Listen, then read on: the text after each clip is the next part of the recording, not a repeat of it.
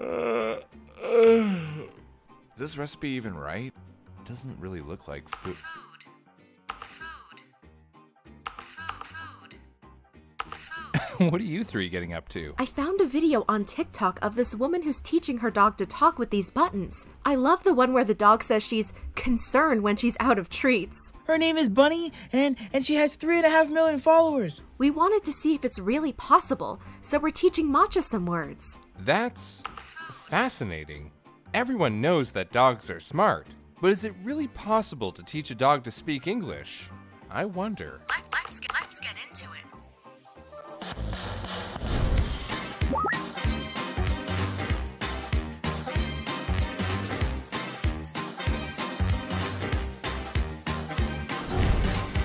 Might be familiar with viral TikTok star Bunny, a young sheepadoodle mix who has been learning to talk with the help of her human, Alexis Devine. Here she is asking about a mailman.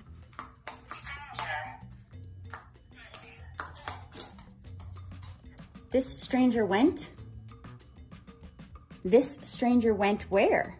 And another time when she said she wanted to go to the beach. All done beach. We'll go beach tomorrow.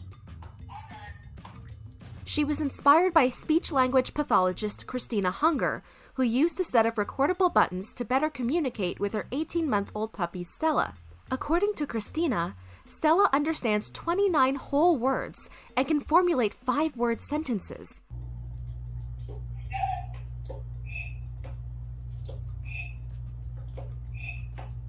Christina started by talking to Stella every day and making note of the words that she used with her puppy most often, things like outside, eat, and sleep. She then mapped those common words to individual buttons and would use them with her vocal commands. Basically, if she was going to take Stella for a walk, she might say walk out loud, then push a button with the word walk recorded, and then take Stella out. That way, Stella would associate going for a walk with the vocal cue and the recorded cue, and eventually use the button to signal that she wants to go out. It's adorable, but I'm not an expert dog trainer. Brew, do you know how dog training works? Well, I mean, I know a little bit. Dog training uses a technique called operant conditioning, developed by psychologist B.F. Skinner, who studied under Russian psychologist Ivan Pavlov. Pavlov, if you're not familiar, studied animal behavior and discovered that it was possible to teach dogs to salivate at the sound of a bell. Pavlov realized that dogs would automatically salivate when they were given food, so he set out to associate the sound of a bell with food by ringing it before the dogs were fed.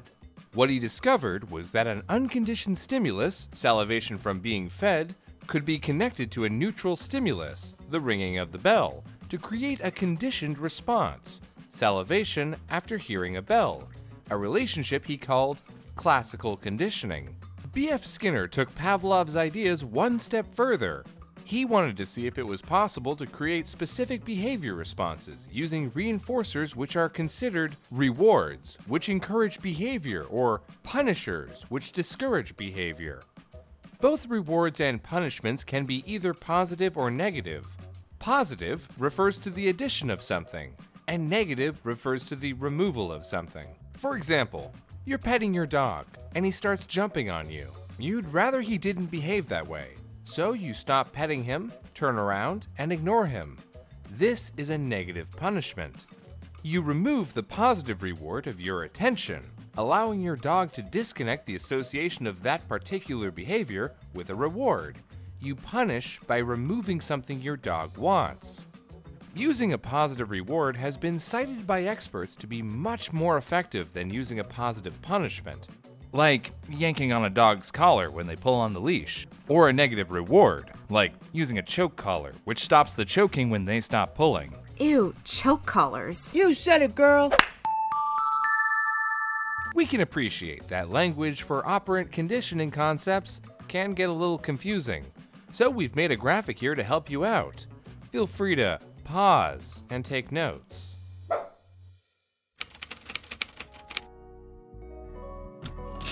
Behaviorism works on all animals, but it's especially efficient on our doggos because years of evolution have bred them to respond particularly well to human commands. Dogs evolved alongside humans and developed traits that would help them adapt to our lifestyles because of it. The oldest confirmed fossils belonging to domesticated canids date back around 14,000 years, but the circumstances of domestication are foggy.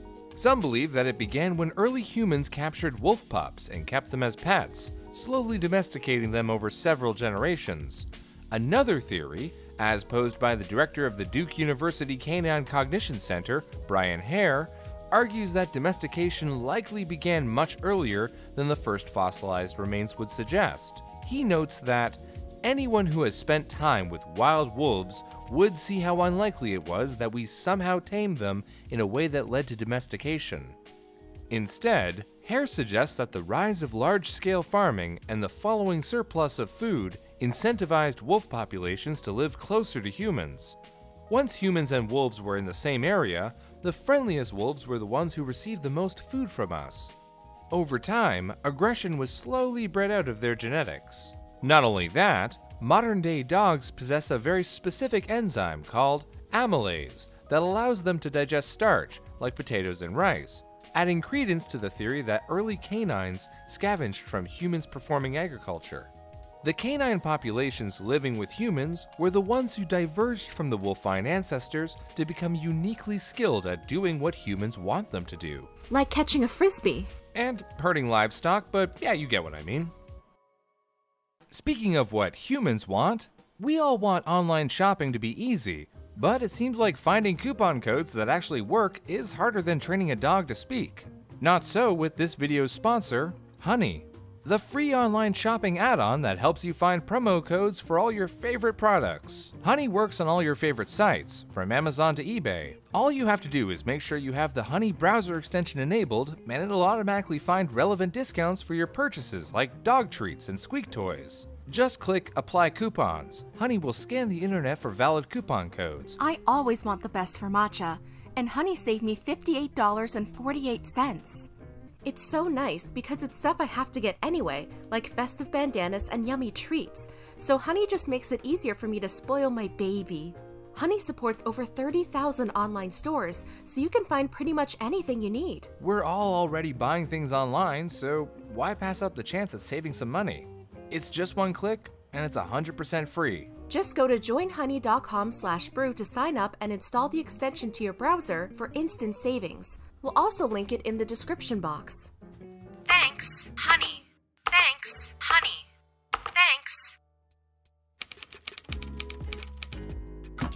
Dogs are genetically predisposed to be able to interpret and understand human commands.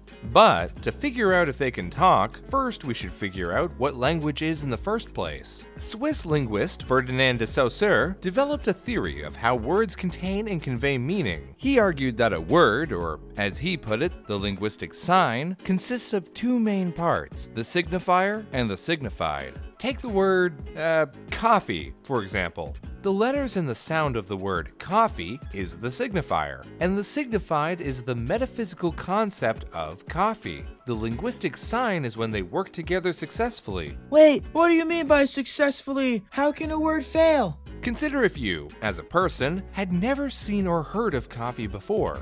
How dreadful. If I said the word coffee, it wouldn't mean anything to you. The signifier is still referring to the signified, but since you don't know what it means, they don't connect. The sound is arbitrary. It's not like the word coffee looks or sounds like what coffee is. Oh, I, I, think I get it. So it's like a word can be anything. All that matters is whether or not everyone agrees that a particular word refers to a particular thing? Exactly. That's how slang develops too. When I talk to Matcha, it seems like she knows what I'm saying. Of course. But there is a difference between talking and communication, though, and that's super important to this discussion. Speech is the ability to convey information using articulate mouth sounds and language, whereas communication is simply the imparting of information. All speech is communication. Not all communication is speech. By this standard, no, Dogs can't talk by way of speech. They don't have the same muscles to form words as we do. That being said, I do have some good news for you dog people out there.